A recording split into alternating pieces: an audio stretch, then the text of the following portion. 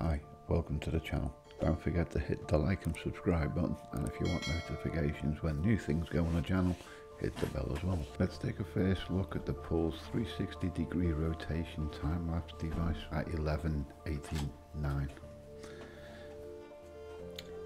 It mounts onto the camera base and tripod and rotates the, the camera 360 degrees over one hour. Timer, there is a ticking sound that can be heard as it rotates. This might interfere with the sound. We will have to wait and see at a later review when it's been used for a few months.